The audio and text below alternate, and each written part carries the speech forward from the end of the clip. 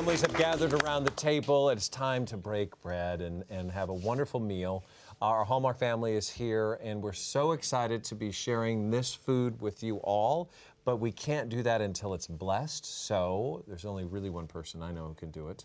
Well, uh, I'll like ask, yes, I would like everyone to please bow their heads. And Mm-hmm. we want to say, Holy Father, may this joyful night radiate with brilliance and light, a light that will illuminate our hearts to reach out to our fellow human beings and bring the message of hope, peace, goodwill, acceptance, and love.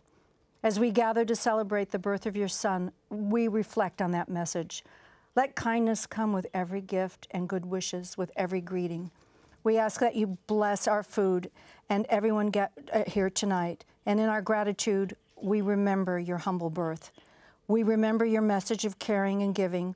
We pray for peace in families and nations throughout the world. We remember the men and women who serve our country and their families who aren't together this season, and we pray for their safe return home.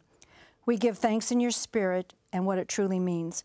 May that spirit live with us in thought, word, and deed, in every way, all that we do and all that we say, even until it's time to do it again. Amen. Amen.